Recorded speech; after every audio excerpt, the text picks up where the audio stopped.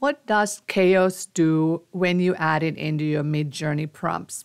Let's find out. First, I am using Midjourney version 5.1, which is a default style right at the moment. I'm also going to see what happens if I use the raw style in these same images and in the same experimentation. I am using the aspect ratio of the widescreen, which is the 16 to 9. However, feel free to use any aspect ratio parameter as you wish. If you don't specify the parameter, it will result in a square image.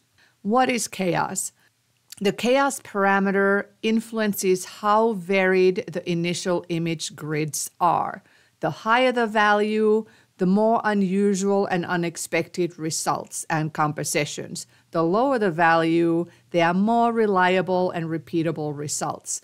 The default chaos value is the zero. So if you do not add chaos, it is going to be the most reliable and repeatable results.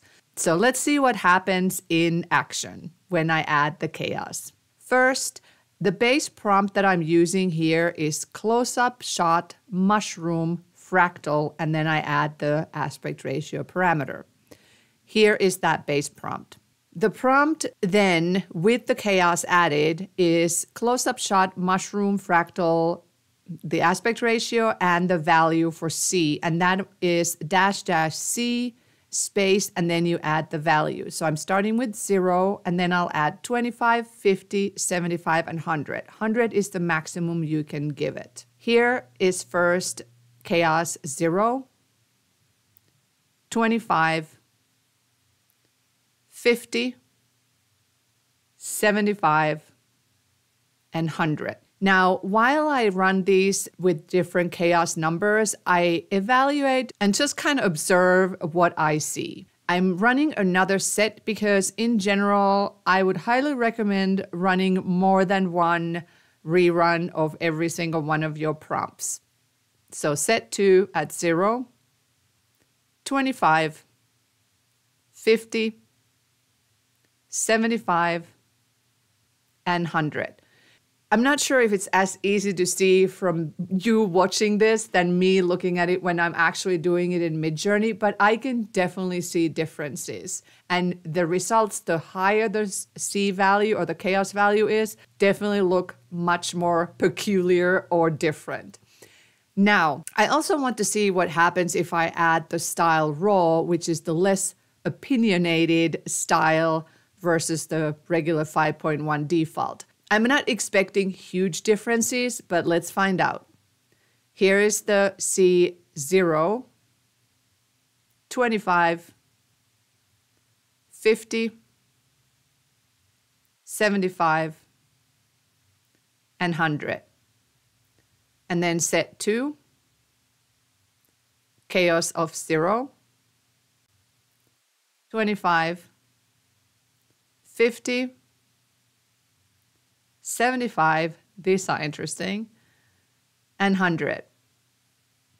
Now, I want to try something completely different now, now that we just looked at those mushrooms. So, I am going to give Midjourney a more of an abstract subject, which is singularity. I like to use and throw it in there every once in a while. And then macro photography and specify colors, white and orange. Same aspect ratio, and at this time I'm going to use the C values of 0, 20, 40, 60, 80, and 100.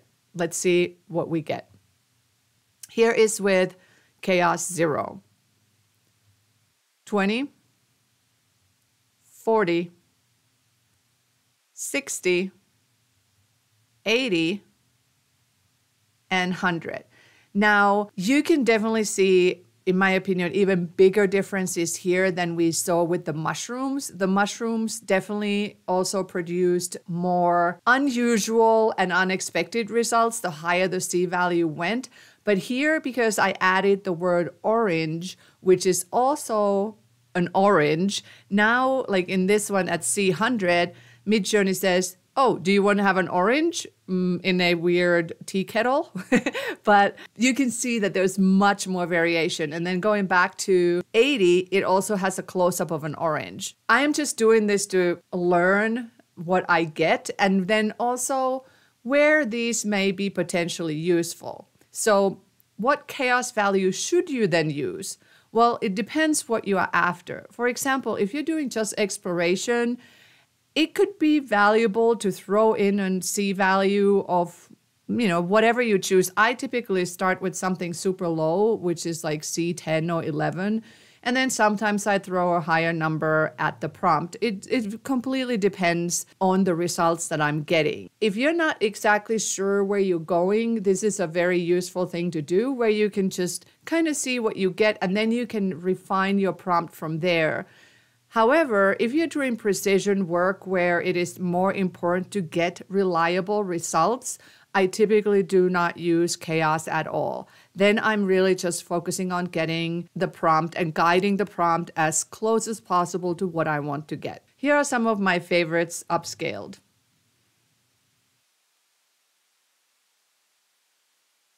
This one's super cool.